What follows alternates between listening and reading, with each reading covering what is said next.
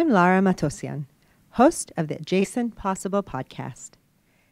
The Adjacent Possible is a kind of shadow future, hovering on the edges of the present state of things, a map of all the ways in which the present can reinvent itself. This podcast is all about probing what's possible, what's probable, and what's preferable in education. Join us as we explore how we can overhaul our current pedagogical systems, solve global grand challenges, and bring about civilization level change. The Adjacent Possible podcast is held in partnership with Area 2071, which is part of the Dubai Future Foundation. The Adjacent Possible podcast is also supported by Awecademy, a global educational organization that offers future focused and wisdom based education to high school learners with the aim of preparing them for a world of automation, artificial intelligence, and accelerating change. Our guest today is Dr. Majid Al Qassimi. Welcome to the Adjacent Possible podcast. You join me, your host, Lara Matosian, and our guest, Dr. Majid Al Qassimi. Welcome. Welcome. Thank you, Lara. It's so wonderful to have you. Let's start with finding out a bit about you. You are the Director of Animal Health and Development at the Ministry of Climate Change and Environment. Yep. Tell us some more about what your role entails. Um, well, other than it being one of the longest titles out there, um, I'm in charge of animal health for the country. Um, I oversee and regulate uh, live animal trade as well as the veterinary practice in the country and the epidemiological situation for animal health. And could you tell us a little bit more about your role?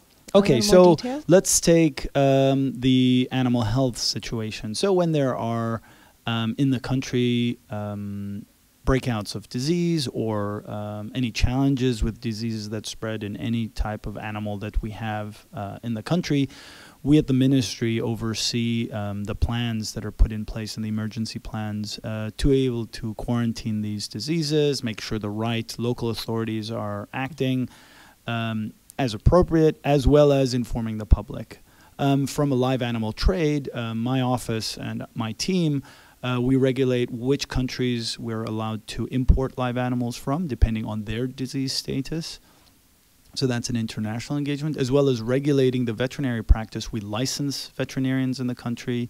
Um, we ensure that they're tested and have the appropriate credentials uh, to be able to practice in the country.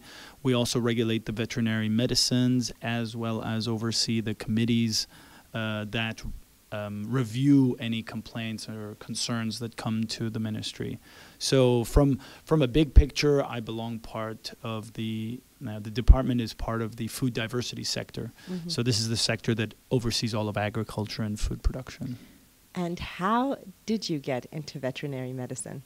So um, I was fortunate enough to fall in love with biology in the third grade. Um, I'm I, I've, I think I've pinned it down to one very simple diagram, which was the food web, and then that took me through to my last years of school, where I was trying to figure out what I would do as a profession.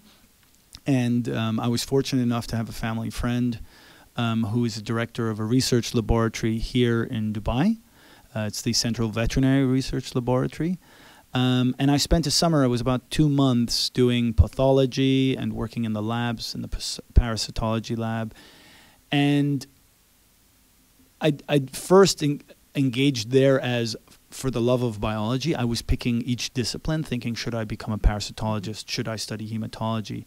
And then the director turned around and said, Why don't you become a veterinarian? Because then you'll do all of them. And I was thinking, wow, I'd never thought of myself as being able to become a doctor of anything, let alone think there was a science that had all this covered. Um, a little intimidated, but um, he took me under his wing, and then I applied, and I worked hard to get in. I didn't have all the grades I needed. Oh. No, no, I, I was doing biology, but I didn't have any other science, so I went back to school, wow. did my A levels again uh, in a year while I was in the UK, got into vet school there, and it was like uphill until I graduated, uh, and then I was a veterinarian.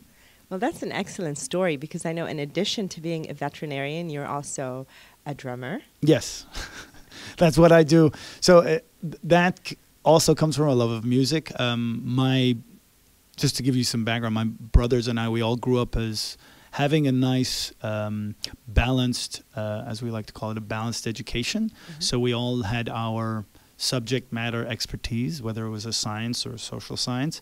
We also played a sport, so we were physically active, and we all had our creative interest as well. And for me, my art was music, um, and all my brothers play instruments. Um, so yeah, we we we all picked our disciplines, and uh, I've been fortunate to play in a few bands. Some of them big and famous now. really? So yeah. Remind us to get your autograph later. Yeah, yeah no worries. if if anybody's a fan of Asking Alexandria, I started the band here. There we go, Asking Alexandria. Our producer over here is making yeah, like, oh, so this nodding, is awesome. Uh, that's a that's a that's a story for another podcast. okay, and you are also a keen carpenter. Yeah, a woodworker, I would call it. Um, so I that came out of the the part of my career where I moved out of clinical practice. Um, I used to be in the field, and you work with your hands. It's part of what I loved about being a veterinarian, problem solving. And then when I was when I was asked to become director at the Environment Agency of Abu Dhabi, um, I realized that I was now at a desk. I was working with teams, but I my hands weren't busy. And there's part of me that enjoys, mm-hmm. you know, mm-hmm. growing up with Lego. That's you need to find more Lego type stuff to do.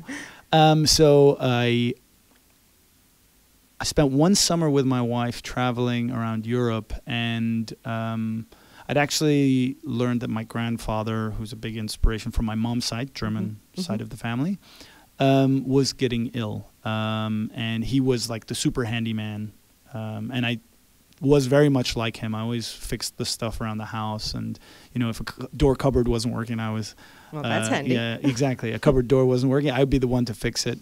And then I realized I was going to lose out, you know, learning from him. And in my mind, at first, I was like, oh, I'll spend all summer with him. Then I realized that was impractical. But I thought, okay, let's get into really working, you know, with your hands in mm-hmm. that sense. And I realized uh, both my wife and I are very much into wood as a medium in the home. And yeah, before you knew it, I was YouTubing 24 7, and there is some really good resources out there. And. I got hooked. Yes, I, I followed you on, on Instagram in, in that phase when you were buying new machines yeah. and practicing and You'll know that there's the been a hiatus, but I've been secretly building my home workshop. So we're almost we're almost back on schedule. Well, I just well, need I'm to carve to out hear that. hour. I'm happy to hear that. Also, earlier you were telling me about how you are encouraging your children yes. Uh, to go gardening. Tell us yeah. their ages again. So uh, my eldest Sultan mm-hmm. is four years old. Khalid is three, and my youngest Lubna, she's a year and a half. Okay. Um, and really being outdoors, um, that's really me finally coming full circle to where I was with my dad.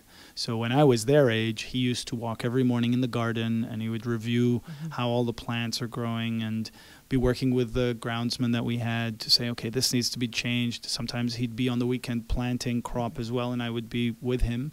And ultimately, I realized more and more as my expertise in veterinary medicine sort of grew into really a love for agriculture. Mm-hmm. Um, I found myself in my dad's shoes, so to speak, yes. and I realized no, I need to have something at home. I need to be able to share something with my kids and give them the same experience because it was very valuable for me. Um, and so, yes, I'm in the garden now on the weekends at least, if not sometime in the midweek with them, trying to plant carrots and tomatoes and that's fantastic. making sure that they get their hands dirty. And uh, it, it's funny when at first my wife was like, "Oh my God, they're gonna get dirty." And I was like, "This is what little kids supposed to do." Like, yes, yes. Yeah, so all dirty. of this leads me to my next question. Uh, you're very interdisciplinary yourself.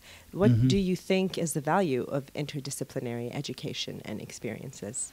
Um, I love that you've asked me this simply because uh, I'm one that likes to cross pollinate. Yes, um, the idea that you've got ideas in one discipline that can suddenly become relevant to another. So whether it's practically building things, um, using theory in music, uh, uh, the experience of of working with people, and for me, I think just the idea of having a different perspective in many ways. So when you're playing music and you're doing improv, you have to understand and read people in the moment and understand where the music's going. when you're working um, with a medium such as wood, understanding the mm-hmm. grain, like falling back to, you know, organic material yes. as opposed to everything being engineered, square and and and right angled. Yes. Um, I think it's just given me a lot of appreciation for somebody else's point of view. Um, I can reach back into a big um, archive of information and knowledge.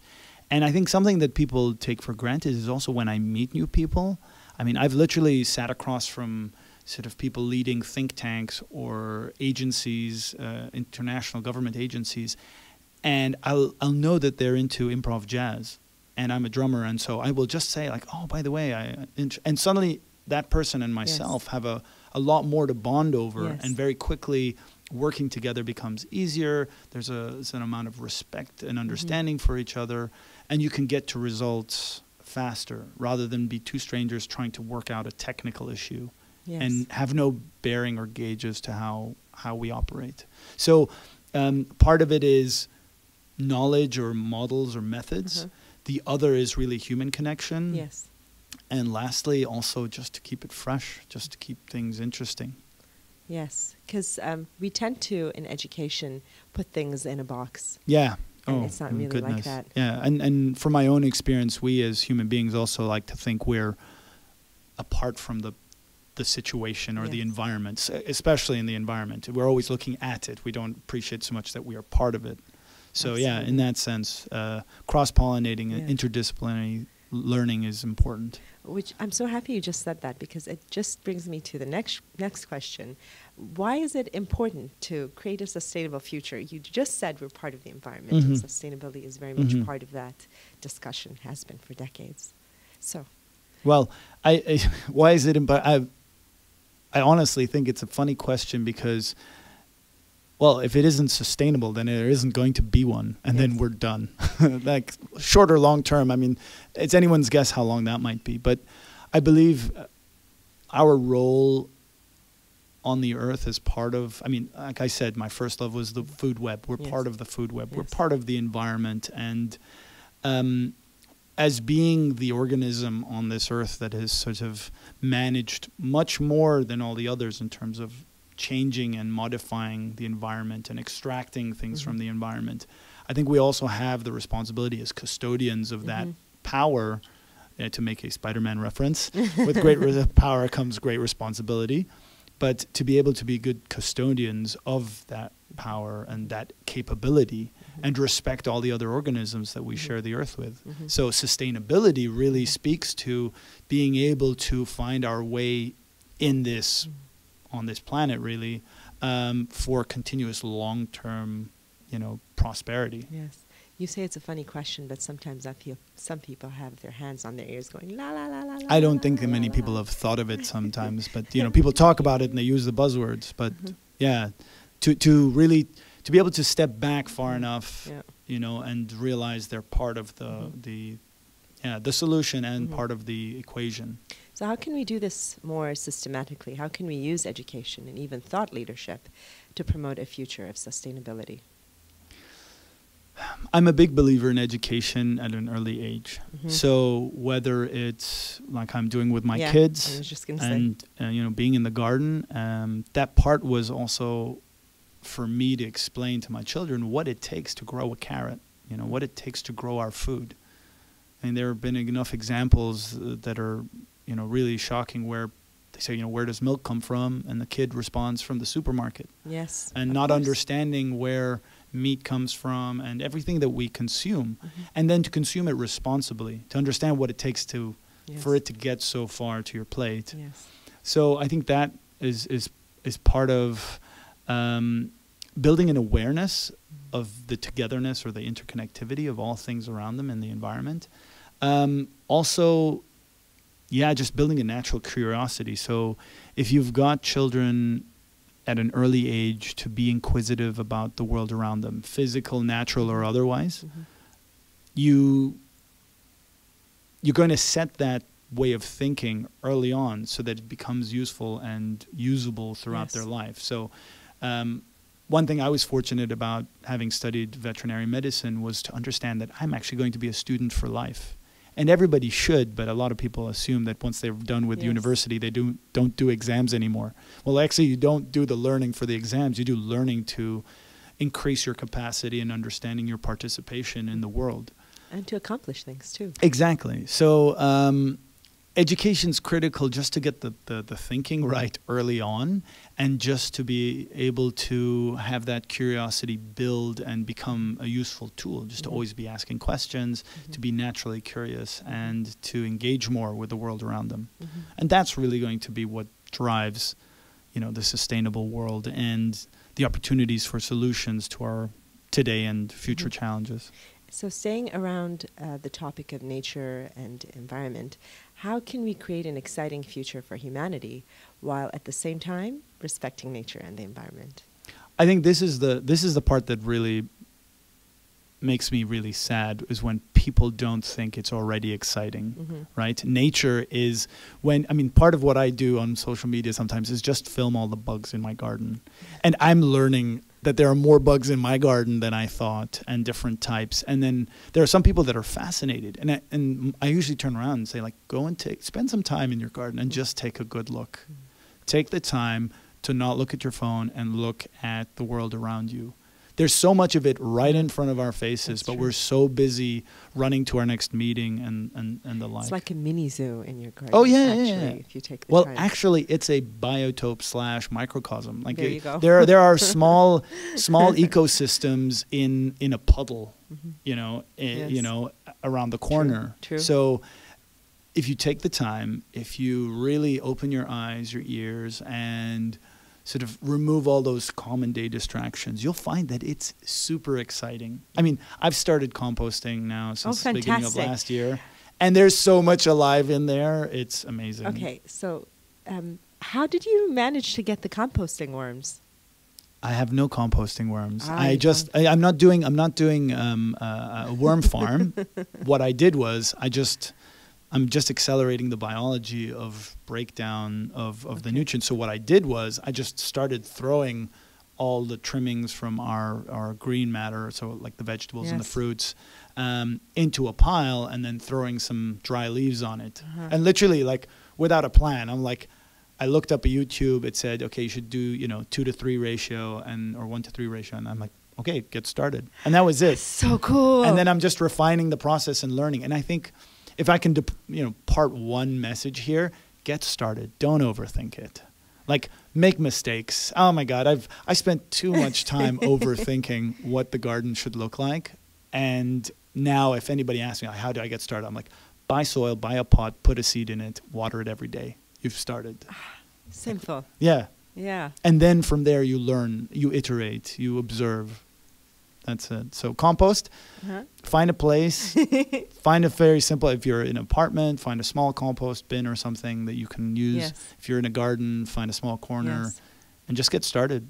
And this is going to be great for the garden you're building with your Yeah, kids. absolutely. That's part of the system. I'm trying to create a, a mini circular economy Yeah, experiment I at see home. So. I'm yeah, I'm doing that. Watch that space. Yeah, exactly. I'll, Please I'll, I'll be tell us sharing on more social media. Yeah, yeah, no. I started I started back with my garden updates uh, on Instagram. So yeah, it's there. I look there. forward to following those. Cool. So tell us, um, you you obviously work with animals. Yes. So whether professionally or personally, I'm sure animal welfare is important to Yep. you. And um, why, basically, Mhm. and and how does human progress also involve progress in ethics and rights involving animals? Okay, so you have to understand this goes back to one our relationship with animals. If you look at a food web, um, different animals consume different animals, and we're part of that system. The problem, or let's say the challenge with uh, industrialized food production, especially on the animal front, is that we have animals that are being, and this was part of why I didn't become an agriculture veterinarian Mhm. early in my career. I didn't go straight into the farming practices Mhm. because I believe you have the demand of economics or Yes. like the market to have cheaper milk, cheaper Yes. eggs, cheaper meat. And that pressure was transferred right down to the animal level. And between the you know the food producers and the market Mm. pressures, the animals are carrying the burden. Now, I think that comes from, I mean, we could digress into that. Yes. But I believe that if you have an animal that has very high welfare standards and has a um, a quality of life Mm-hmm. that um, is free of disease, stress, and can live out its natural behavior Mhm. until the time where it will be perhaps taken to for meat production or is producing milk or Mhm. eggs, you can have a high quality product that's nutritious. Mhm. The challenge is um, with the way food is produced, a lot of those things are under pressure. Yes. And the problem is with yeah the increased wealth and the Yes. opportunity in life, we want more of it, Mm. and so we want it cheaper. And so from a society, I mean, here's a good example. Here in the United Arab Emirates, I speak to my grandmother and I ask her like, "What, what did you eat Mhm. every day Mhm. on a daily basis?" Well, she said, "I got up and I had some dates. Mhm. I had a fish for lunch." Mhm. with my family. We had one fish, and then dinner was a cup of camel's milk. I was like, "Oh, you weren't eating meat?" She's like, "Oh my God, it was a real celebration Yep. if we slaughtered a animal Mhm.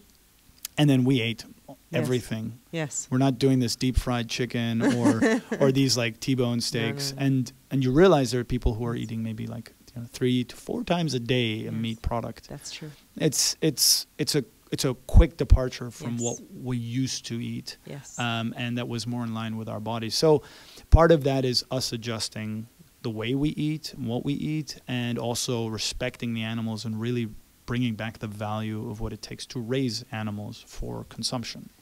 And then the second part of your question as to why it's important, ethics and morals, really as custodians to the environment, you know, you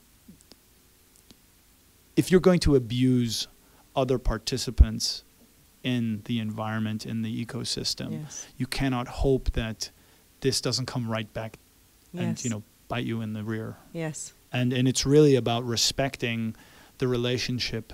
Um, very simple. If in a food web you have a carnivore overconsume its Yes. prey, then the prey just an drops imbalance out and in imbalance and you get an immediate feedback and suddenly Yes. they can't feed themselves they've been Yes. overhunted or over uh, predated and yeah and that's the way biology and nature works Yes.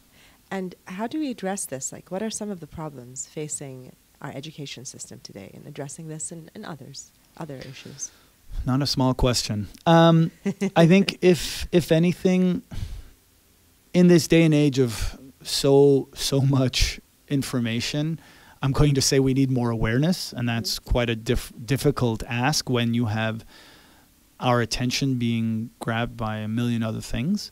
But the more awareness you can bring to the natural world, the challenges we have in it, to you know call not only just it's not call to action you just need people need to understand i mean most of the time these decisions that are questionable or are are not um, in line with you know custodianship of the Mhm. environment is simply be it's simply ignorance they don't know any better and nobody's told them Mhm. um, and so that's why I try to do as much you know, public engagement, Yes. speaking. Uh, you know, for the lack of doing one person at a time, uh, try as much to just share information without pointing at people and saying you're wrong, Mhm. but to say, look, there are other ways to do it, and these ways will allow us to enjoy these things for longer. Mhm.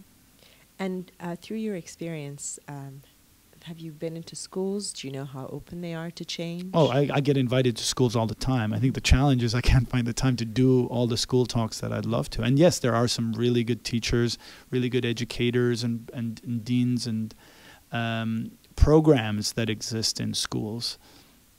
The challenge is um, bringing that back into more of the basic education as opposed to it being this sort of tack on hey we do the sciences and we do and and when i say the sciences i'm talking about like the pure sciences Mhm. um, I was having an interesting conversation with somebody only uh, a couple a couple days ago about home economics. Okay.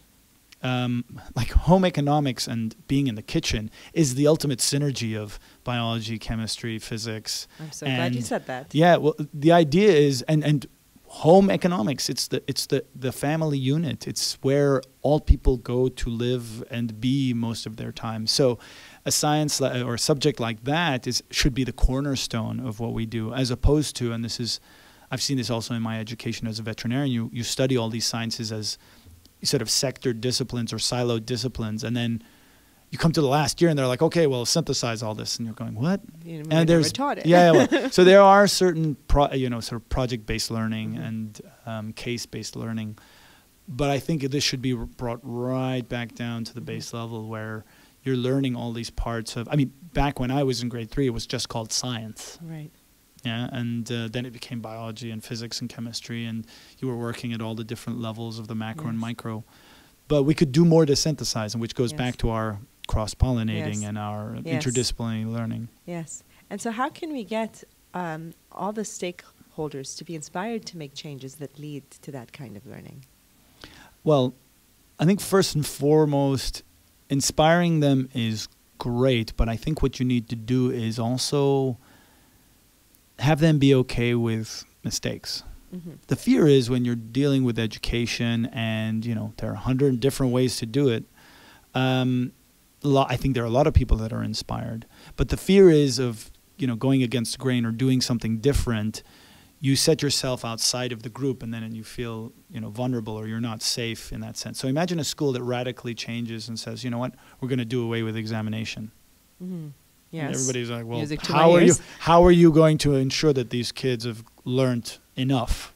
Well, I mean, you know, I don't want to go down that rabbit hole, but it's taken some countries to be brave about how they do and change their education system, and then when they realized, well, everybody else realized, hey, you know what, the kids are okay. They turned out really bright and quite engaged, and uh, they're fine Yes. Maybe we could do it. So you need some pioneers. Uh-huh. You know, Of those are the ones inspiring, but you need to be able to be brave and say, you know what, I want to try that too. And if it goes wrong, that's okay. Okay. Right? And uh, have you seen uh, changes in, in schools or in teaching and learning? well, for one, being a father now, um, I'm very curious and I'm, I feel I'm, I'm very heavy into understanding how my children will be educated. And I've had my own beliefs as well challenged. Um, everything from, you know, I believe in this system versus that system to what if we homeschooled them? Mhm. and what would what would that be? Would they lose out on cer- so, certain social interaction?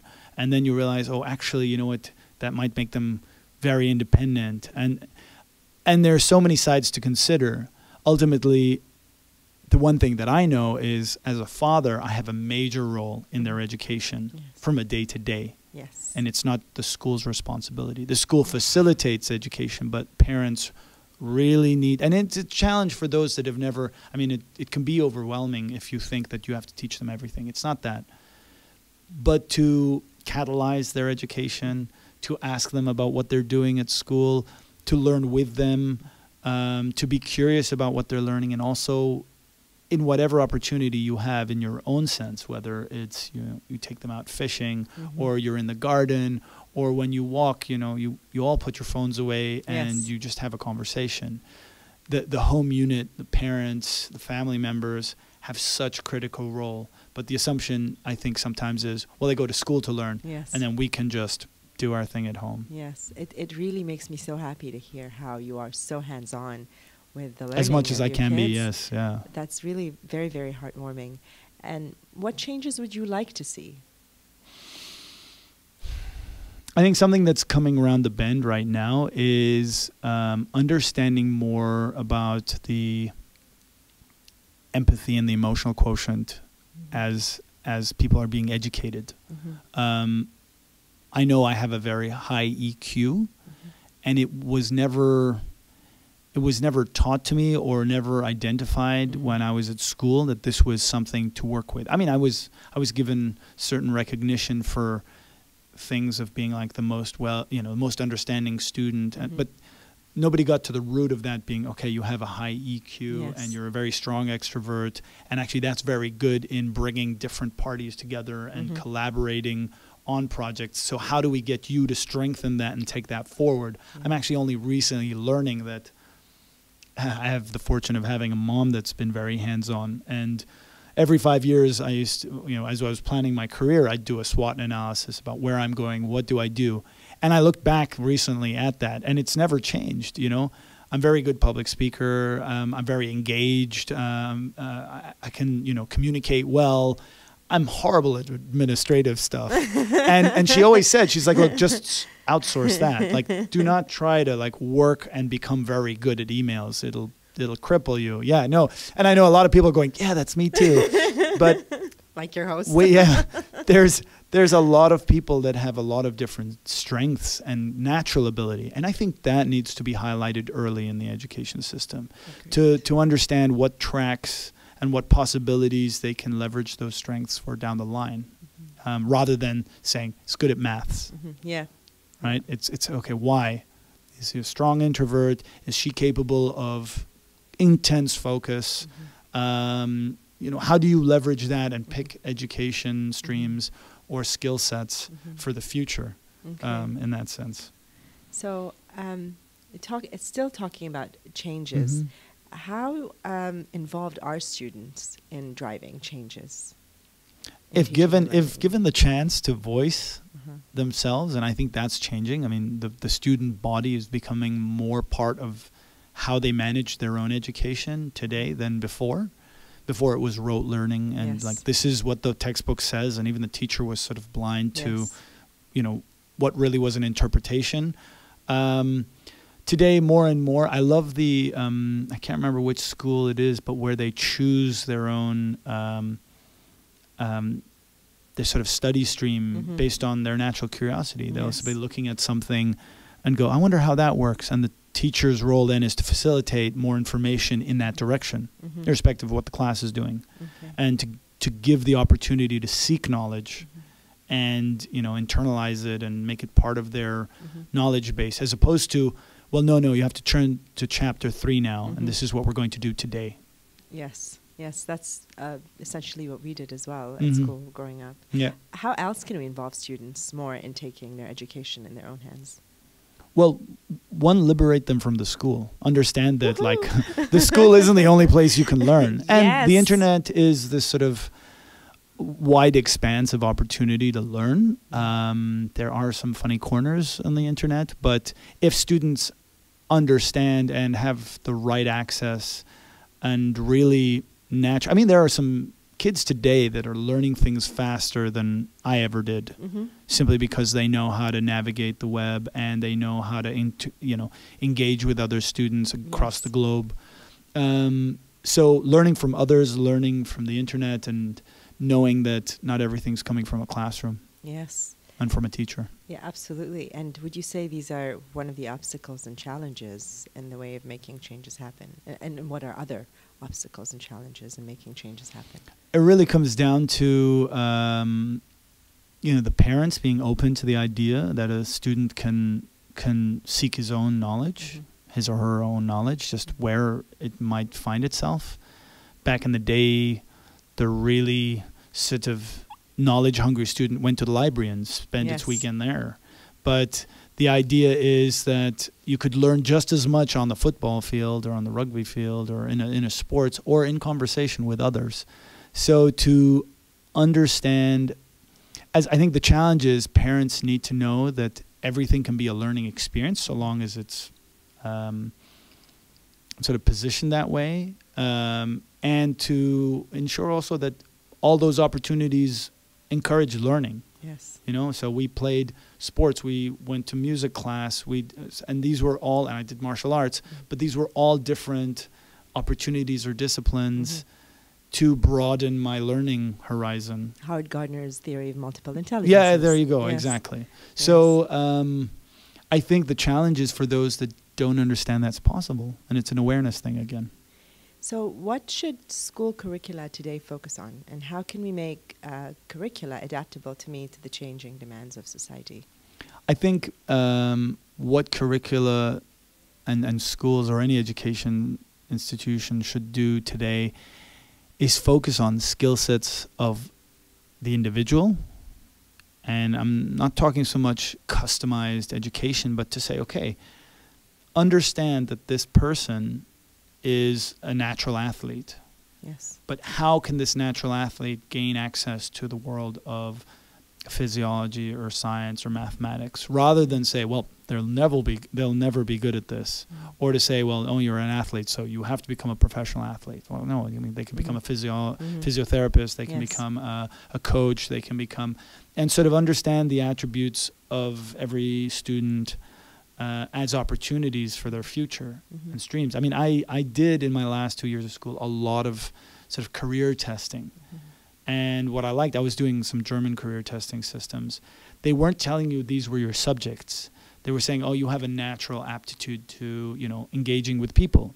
You like, you know, being outdoors. You like using your hands. Yes. And so I was picking, you know, my subjects according to those skill sets. I think we need to start a lot earlier. Yes. Understand who in the group of students is the person who networks and Yes. brings the different parties together.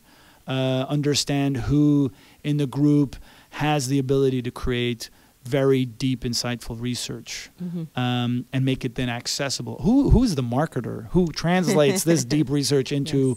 everyday, you know, speak? Um, so I, I would I would I would say, if anything, the institutions need to know how to draw out the strengths of every student, as opposed to put everybody in a class, blanket Yes. it with a subject Yes. or, or, or the class for the day, and then gauge who's doing well and who's doing not so well. So they need more time or Right. more attention. That's that's As not what it is. something different altogether. Exactly. I mean, the, the it's sort of, if you will, the sort of the cut and slice of it needs to change. The perspective or the scale by which you're measuring people. Yes. So moving from the changing demands of society Mhm. to living in exponential times, Yes. how can we prepare our students for the future? Man, it's. I mean, with only 24 hours in a day, and only so much time for learning and access for information, we need really to be able to get There's an exercise I did was to remove the TV from the house. You removed the TV. Yeah. So that means when the TV's gone, the Netflix is gone, that means the PlayStation's gone, that means and that was as much for my kids as myself. Ah. And and that then meant I had more time to read, mm-hmm. more time to learn, more time to be in the garden. And it's it's it's kind of it's about distractions. Yes, it is. I think the world can be very distracting, especially when there are tons of marketing ploys to get people to buy more stuff, right? with you on that one. So, um, you know, everybody can enjoy themselves. It's not to say that everybody needs to become a, you know, A gardener. a, a gardener. or a woodworker. but I, but I realize that there are enough crutches Mhm. that are, you know, like, oh, do you want to, what do you want to do now? Oh, you know what? I'll just play for a bit on the PlayStation. So this goes back to a, sort of practice that I have, which is measuring your consumption versus production. Yes. So, how much are you consuming and how much are you producing? Yes. Uh, in the sense that, are you consuming knowledge or are you consuming Distraction. just distraction? you know, uh, and are you producing stuff? Are you playing music? Are you building things? Are you gardening? Are you putting back what you've learned into uh, the ecosystem, the environment, the community? Um, there are enough things that they've got you pegged to. Um, I mean, I find myself now that I, with what limited time I have, I, I cannot invest the hours into Yes. binge watching a new series. Yes. Not to mention the emotional turmoil of some With of these shows, right? So there's people like, oh, have you seen this new show? I'm like, actually, no, and I didn't even watch the last season of you know Game of Thrones, and everybody's like, you, you're crazy. No, we get. You haven't watched Game of Thrones. Yeah, well, Ex- you know, exceedingly it- louder this- volume. exactly. You haven't watched Game. You know. So- we haven't at all. it, it's you know, it- it's just a matter of time. There's only so much. You have Mhm. one life. Yes. You know, you have one opportunity on the earth. There's so much out there that could make you a, a, a net contributor, Mhm. somebody who's engaged, somebody who is going to give back as much as you take. Yes. And the natural world is is we still don't know understand it all. So you can you can get lost in that and you know, yeah, I mean, it's just so beautiful hearing yeah. you say these things. I mean, I'm not a luddite. I'm for, Yeah. uh, for technology. Obviously, absolutely, You it's too, it's, it's catalyzing a lot of a things. Big social media, uh, Yeah. social media presence, Yeah. and you keep everyone engaged with you. But you you're also very present in the physical world. Yeah, So I, I really, there's really no to there's this. no I, especially as somebody who's very much a people person. There's no substitute today for being present with a- another person. I mean, we could go into the whole communicating without words kind of you know stuff. But um, no, I'm not a Luddite either. I believe technology, when used correctly, can really catalyze learning, can expedite uh, assimilation of knowledge. But it can also be very distracting. Yes. There's so many things beeping and ringing yes, at yes, you all the time. yes. Never mind all this banners and I mean where I'm sat now. there's so I much know. happening behind you, and I'm just You're trying to. Keep, vocalizing so many of my daily thoughts. yeah. So, um, yeah, I try as much as I Mhm. can to be an educator Yes. and uh, and a communicator. That's Yeah. really as much as I want to do, but to inspire people to go and do their own learning. I always like to end with the question, "What are you optimistic about?" Oh, I'm optimistic about everything. I'm like the super optimist. like when when whether it's at work or anything and and things look like they're going very far south and we're taking a nosedive, I'm like, "Great. What do we have to do to change things? Turn it around." And people are looking at me like, "Yeah, but it's crashing all around us." I'm like, "Yeah, but it means we should be doing something. We can act." So, um, it's kind of a difficult question for me to answer because I'll just say everything. Um, I believe in the human potential. I believe, I mean, we've gotten this far, and I believe we can turn it around no matter where we are. The idea is just to be able to create enough critical mass, Mhm. um, get enough people around the table as we're sat here. Yes, it's not just you and. I. Yes. Um, and in that sense of cross pollinating, I'm moving in a lot of different circles. Yes. So always talking about what I'm passionate about, and I, I've done a number of sort of business related public speaking events where people will come to me and they have something that has no sort of immediate relevance to growing your own food or the environment, but they're passionate about it, and they say, "How can what we do?" contribute to that. And then uh, what's nice is I get the opportunity to sort of string what they're doing to what I'm doing and they immediately go, okay, how do I get started? So I'm really tempted to write a couple books about being able to make this in a sort of very concise way, pick this up and act. Um, well, I think that if anyone can do it, you can. You're such an interdisciplinary gotta find the, person. the hours, but I will. I will yes. do it. Believe I, me. I think you absolutely can. Thank you. Dr. Majid, it has been such a pleasure Laura, pleasure having you on the podcast today. Thank you for joining us. Thank you.